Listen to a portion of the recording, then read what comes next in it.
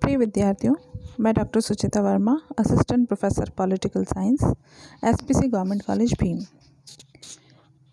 आज हम BA part second के पेपर फ़र्स्ट के टॉपिक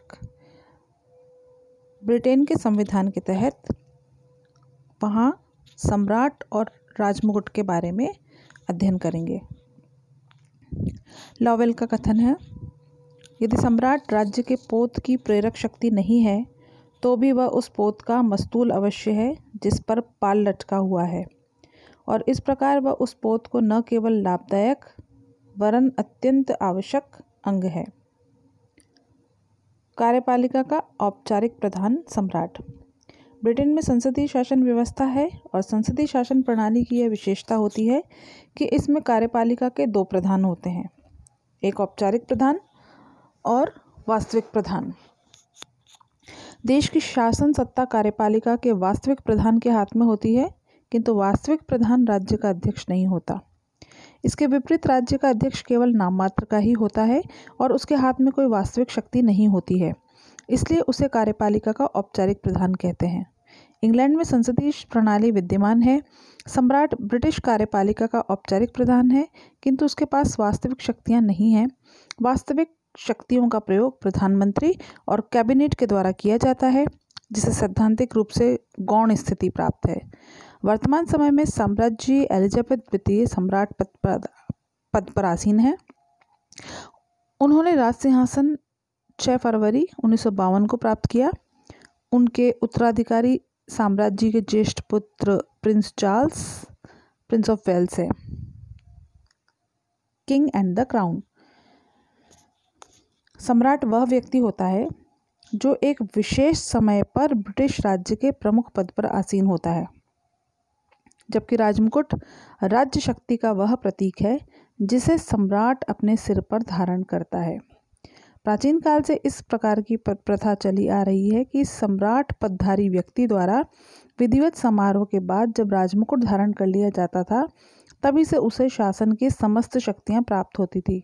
इस प्रकार राजमुकुट राजशक्ति का प्रतीक था, किंतु प्राचीन काल में तो सम्राट और राजमुकुट के इस भेद को कोई महत्व नहीं था, क्योंकि सम्राट राजमुकुट था और राजमुकुट सम्राट। किंतु वर्तमान समय में जबकि ब्रिटेन में वास्तविकता की दृष्टि से राजतंत्र के स्थान पर लोकतंत्र की स्थापना हो गई है, सम्राट और राजमुकुट का भेद निश्चित रूप से बहुत अधिक महत्वपूर्ण हो गया है। और इसके बिना ब्रिटिश संविधान का यथार्थ ज्ञान प्राप्त नहीं किया जा सकता। ग्लैडस्टन के शब्दों में कहा जा सकता है कि अंग्रेज़ी संविधान के साहित्य में अनेक सूक्ष्म भेद हैं, पर उनमें इतना अधिक महत्वपूर्ण कोई नहीं है जितना महत्वपूर्ण सम्राट और राजमुकुट का भेद है। सम्राट और राजमुकुट के भेद का महत्व। शासन पथ पर ब्रिटेन ने अपनी यात्रा एक निरंकुश राजतंत्र के रूप में प्रारंभ की थी, किंतु ब्रिटेन में आज लोकतंत्र है। राजतंत्र से लोकतंत्र की दिशा में ब्रिटिश संविधान का जो विकास हुआ, उसका सीधा साधा रूप यह है कि व्यक्ति रूप में राजा को जो शक्तियाँ प्राप्त थी, वे अब संस्था रूप में राजमुकुट को प्राप्त हो गई हैं। इस प्रकार राजा और राजमुकुट का भेद जान लेने के आधार पर ब्रिटिश संविधान का समस्त विकास समझा जा सकता है। न केवल ब्रिटिश संविधान के विकास, वरन ब्रिटिश शासन व्यवस्था के वास्तविक स्वरूप को भी राजा और राजमुकुट के भेद के आधार पर ही जाना जा सकता है। सैद्धांतिक दृष्टि से ब्रिटेन ने आज भी निरंकुश राजतंत्र है। राजा सब कुछ करने में समर्थ है। किंतु व्यवहार में राजा की शक्तियों का प्रयोग स्वयं राजा द्वारा नहीं, बल्कि राजमुकुट के द्वारा किया जाता है। अब सवाल उठता है कि राजमुकुट क्या है? शाब्दिक अर्थ में, राजमुकुट राजसत्ता का प्रतीक है, जिसे सम्राट राजपद ग्रहण करने के समय अपने मस्तक पर धारण करता है। किंतु वर्तमान समय में राजमुकुट ने एक संवैधानिक अर्थ भी प्राप्त कर लिया है। इस संवैधानिक अर्थ में राजमुकुट एक संस्था है, जिसमें व्यक्ति के रूप में सम्राट कैबिनेट, लोक सेवाएँ और वे सभी हैं जिनके द्वारा प्रशासनिक सत्ता का उपयोग किया जाता है।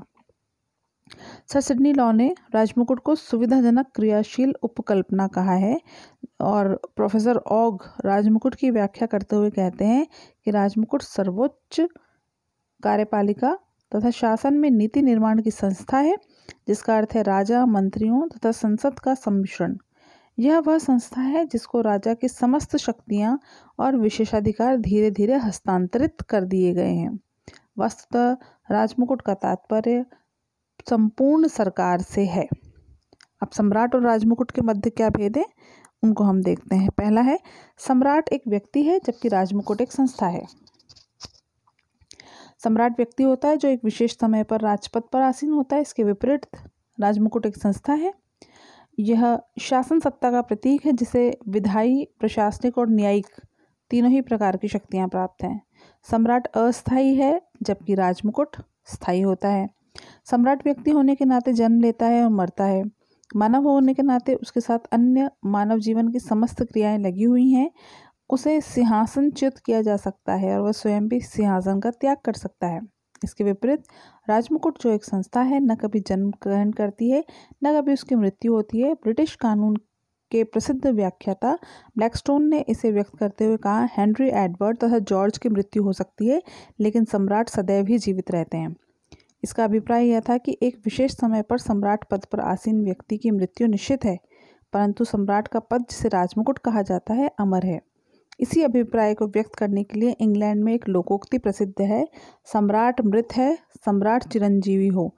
The king is dead, long live the king. तीसरी, भेद इनका। सम्राट वैयक्तिक है, राजमुकुट सामूहिक। सम्राट और राजमुकुट में एक अन्य अंतर वैयक्तिक और सामूहिकता का है।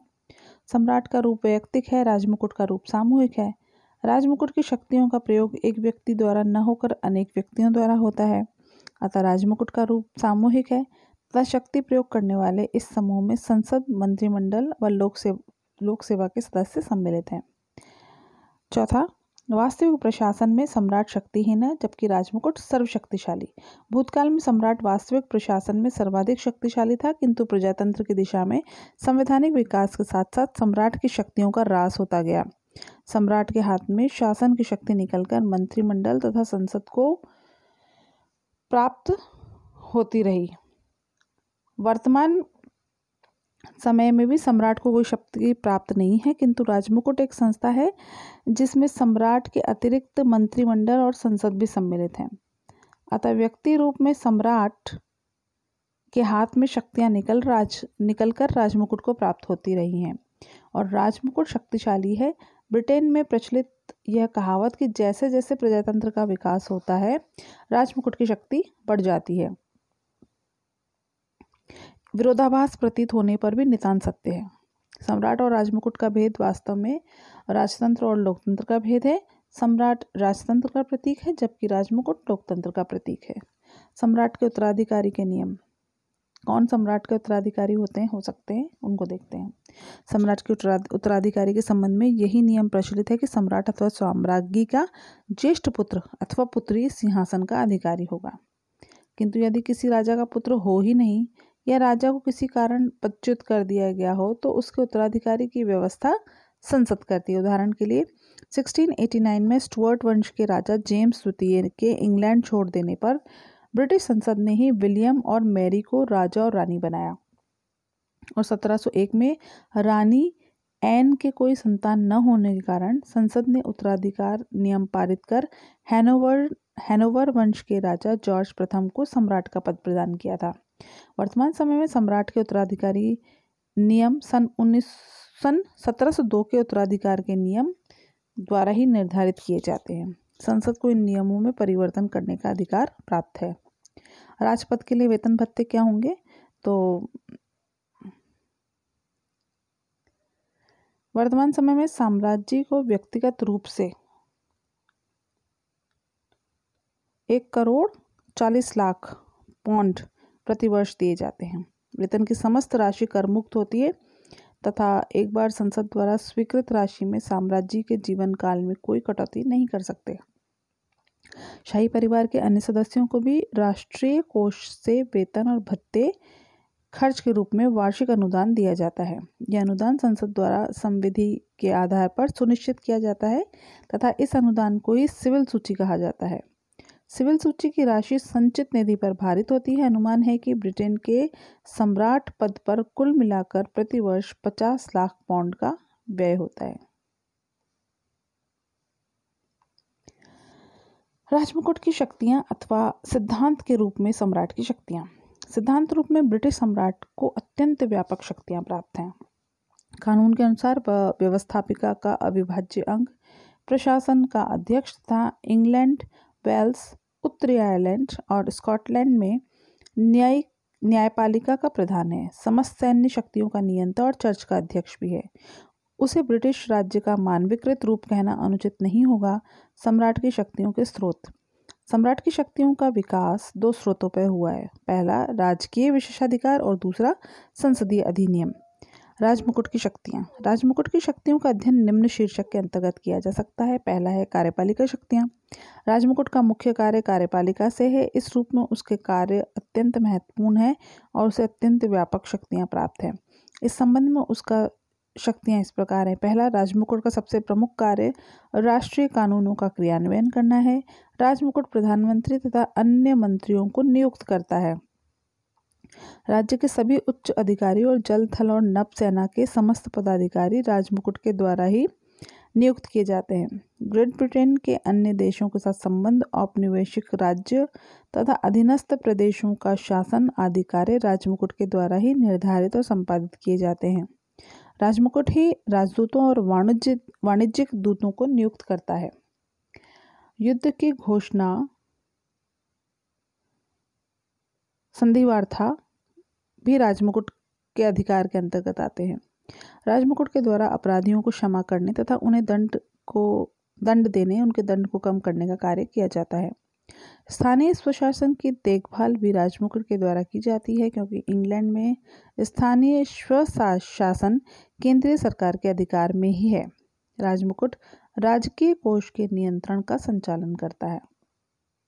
मंत्रीगण व्यक्तिगत या सामूहिक रूप से जो भी कार्य करते हैं, वे राजमुकुट के नाम से ही किए जाते हैं। इस प्रकार कार्यपालक, कार्यपालिका क्षेत्र में राजमुकुट की कार्यपालिका शक्तियाँ अत्यंत व्यापक हैं। ऑग ने राजमुकुट की कार्यपालिका शक्तियों को अमेरिकी राष्ट्रपति की कार्यपालिका शक्तियों के समकक्ष कहा है। दूसरा है इसका व्यवस्थापन संबंधी शक्तियाँ। राजमुकुट को व्यवस्थापन संबंधी अनेक शक्तियाँ प्राप्त है। ब्रिटेन में कानून निर्माण की शक्ति संसद सहित राजा को प्राप्त है। इस प्रकार राजमुकुट के द्वारा संसद के साथ मिलकर व्यवस्थापन संबंधी शक्तियों का उपयोग किया जाता है। इस संबंध में राजमुकुट को निम्नलिखित शक्तियाँ प्राप्त हैं। पहली है संसद के दोनों सदनों में से द्वितीय सदन, जिसे लॉर्ड सभा कहता है। इसके निर्माण के संबंध में राजमुकुट को शक्ति प्राप्त है। राजमुकुट को पियर बनाने का अधिकार प्राप्त है। राजा के द्वारा जिन लोगों को पियर बनाया जाता है, केवल वे ही लॉर्ड सभा के अध्यक्ष होते हैं। लोक सदन के चुनाव की तिथि भी राजमुकुट के द्वारा ही घोषित की जाती है। राजमुकुट संसद के दोनों सदनों का अधिवेशन बुलाता और स्थगित करता है। लॉर्ड सभा तो एक स्थायी सदन है, लेकिन राजमुकुट लोक सदन को विघटित कर सकता है। संसद के आरंभ में सम्राट भाषण देता है, जिसमें देश की नीति पर प्रकाश डाला जाता है। वास्तविकता यह है कि सम्राट का भाषण उनके मंत्रियों के द्वारा तैयार किया जाता है और राजा उसमें किसी भी प्रकार का परिवर्तन नहीं कर सकता। कोई विधेयक उस समय तक कानून का रूप नहीं ले सकता जब तक कि उस पर सम्राट के हस्ताक्षर न हो गए हों। राजमुकुट को अधिराज्यों के संबंध में घोषणाएँ और अध्यादेश जारी करने का अधिकार है। पिछले कुछ वर्षों से राजमुकुट को व्यवस्थापन क्षेत्र में एक और शक्ति प्राप्त हो गई है और वह है सपरिषद आदेश जारी करने की शक्ति। राजमुकुट यह कार्य मंत्रियों और प्रशासनिक विभागों के माध्यम से करता है और इसे प्रदत्त व्यवस्थापन डेलीगेटेड लेजिस्लेशन भी कहते हैं। न्याय संबंधी शक्तियाँ। सम्राट को न्याय का स्रोत कहा जाता है। न्याय क्षेत्र में उसे कुछ शक्तियाँ प्राप्त हैं। ब्रिटेन के सभी न्यायालय सम्राट के न्यायालय कहलाते हैं। सम्राट ही न्यायाधीशों की नियुक्ति करता है और संसद की प्रार्थना पर उन्हें हटा सकता है। वह अपराधियों के दंड को कम कर सकता है और उन्हें साथ ही क्षमा भी प्रदान कर सकता है। धार्मिक क्षेत्र में शक्तियाँ। सम्राट को धार्मिक क्षेत्र में भी कुछ शक्तियाँ प्राप्त हैं। इंग्लैंड में एंग्लिकन चर्च है और रानी एलिजाबेथ के समय से ही सम्राट उसके प्रमुख हैं। वह चर्च के समस्त अधिकारियों जैसे आग बिशप बिशप, डीन, कैनन की नियुक्ति करता है। सम्राट कैंटबरी और यॉर्क में धार्मिक सम्मेलन बुलाता है और इन सम्मेलनों द्वारा पारित नियमों पर सम्राट के हस्ताक्षर उसी प्रकार आवश्यक है, जिस प्रकार संसद द्वारा पारित विधेयकों पर उसके हस्ताक्षर ज़रूरी हैं। 1919 से चर्च प्रबंध के लिए नेशनल असेंबली नामक संस्था की स्थापना की गई और इस सभा द्वारा पारित नियमों पर राजमुकुट की अंतिम स्वीकृति आवश्यक है। धार्मिक क्षेत्र में सम्राट की स्थिति के कारण ही उसे धर्म रक्षक भी कहा गया है। पांचवा सम्मान का स्रोत, राजमुकुट को अधिकार प्राप्त है कि वह ब्रिटिश नागरिकों को सम्मान सूचक उपाधियाँ प्रदान कर सके। इस प्रकार के उपाधियों के ड्यूक, बैरन, अर्ल, नाइट और लॉर्ड की उपाधियाँ प्रमुख हैं। सम्राट की वास्तविक स्थिति। सम्राट राज करता है, शासन नहीं। सैद्धांतिक दृष्टि सम्राट की जिन शक्तियों का उल्लेख किया गया है, व्यवहार में उन शक्तियों का प्रयोग सम्राट के द्वारा नहीं, बल्कि कैबिनेट के द्वारा किया जाता है। सम्राट तो कार्यपालिका का औपचारिक प्रधान है, जो राज्य करता है, शासन नहीं। ब्रिटेन में संसदीय शासन व्यवस्था है इस कारण प्रत्येक सार्वजनिक कार्य के लिए मंत्रिमंडल संसद के प्रति उत्तरदायी होती है। यह नितान स्वाभाविक है कि शक्ति और उत्तरदायित्व साथ साथ चलते हैं, अतः वास्तविक रूप से शासन की शक्तियों का प्रयोग भी मंत्रीगणों के द्वारा ही किया जाता है, सम्राट द्वारा नहीं। सम्राट की शक्तियों का वर्णन करते हुए फाइनर ठीक कहते हैं कि यह विशाल गगनचुंबी और वैभवपूर्ण अट्टालिका है, जिसके अंदर राजनीतिक शक्ति का एक शून्य स्थान है। ट्यूडर काल तक सम्राट का पद वास्तव में शक्ति का प्रभाव का पद था महारानी एलिजाबेथ प्रथम एक शक्तिशाली शासिका थी, किंतु उनके बाद से ही सम्राट के पद की शक्तियाँ कम होनी प्रारंभ हो गई। सत्रहवीं शताब्दी में असीमित राजतंत्र और मर्यादित राजतंत्र के समर्थकों के बीच जो संघर्ष हुआ, उसके परिणाम स्वरूप सम्राट का पद की स्थिति कमतर हुई और यह इसके लिए घातक भी सिद्ध हुआ। सन 1649 में सम्राट पद को समाप्त करके गणतंत्र की स्थापना की गई। यद्यपि यह गणतंत्र 11 वर्ष ही चला और 1960 में सम्राट पद को पुनर्जीवित कर चार्ल्स द्वितीय को सम्राट बना दिया गया, किंतु इसके साथ सम्राट पद की शक्तियाँ पुनर्जीवित नहीं हो सकी। अब सम्राट प्रशासन की छत्र छाया में ही रह गया।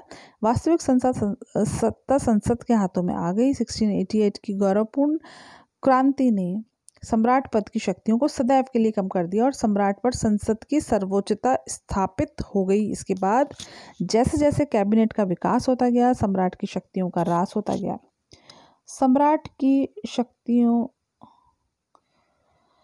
के ह्रास में हैनोवर वंश ने बहुत योग दिया हैनोवर वंश के प्रथम दो राजा जॉर्ज प्रथम और जॉर्ज द्वितीय, न तो अंग्रेज़ी भाषा से परिचित थे और न ही ब्रिटिश राजनीति में उनकी कोई रुचि थी। अतः उनके द्वारा मंत्रिमंडल की बैठकों की अध्यक्षता न की जाने पर प्रधानमंत्री के पद का विकास हुआ। जॉर्ज तृतीय ने राजपथ की शक्तियों को पुनर्जीवित करने की अथक चेष्टा की, किंतु इसमें वह सफल नहीं हुए। अब प्रधानमंत्री और कैबिनेट के सदस्यों को नियुक्ति और पदच्युति के संबंध में निश्चित परंपराएँ स्थापित हो गईं और सम्राट इस संबंध में अपने विवेक का प्रयोग नहीं कर सकता था। सन 1834 में विलियम चतुर्थ ने संसद में बहुमत रहते हुए मेलबर्न मंत्रिमंडल को पच्युत करने का प्रयत्न किया था, किंतु वह इसमें सफल नहीं हुए। समस्त अनिच्छा के बावजूद 1833 में सम्राट को प्रथम सुधार अधिनियम पर अपनी स्वीकृति देनी पड़ी। रानी विक्टोरिया का पद पूर्णतः मर्यादित शक्तियों का पद बन गया था। वर्तमान समय में सम्राट शासन का औपचारिक प्रधान है तथा उसका अधिकार नाम मात्र है। प्रधानमंत्री की नियुक्ति के संबंध में निश्चित परंपराएँ हैं और वह लोक सदन के बहुमत दल के नेता के प्रधानमंत्री पद प्रदान करने के लिए बाध्य है। कैबिनेट के सदस्यों की नियुक्ति प्रधानमंत्री के द्वारा की जाती है और इसमें सम्राट की इच्छा का को कोई महत्व नहीं है। सम्राट की व्यवस्था संबंधी शक्तियों के विषय में भी यही स्थिति है।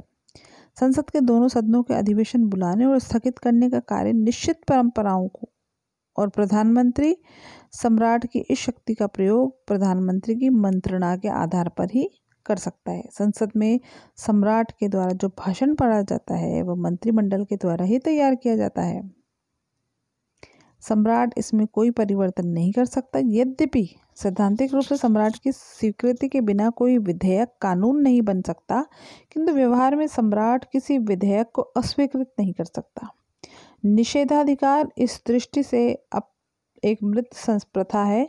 पिछले 290 वर्षों में इसका कभी भी प्रयोग नहीं किया गया। साम्राज्य एन ने 1707 में स्कॉच मिलिशिया विधेयक पर इसका अंतिम बार प्रयोग किया था।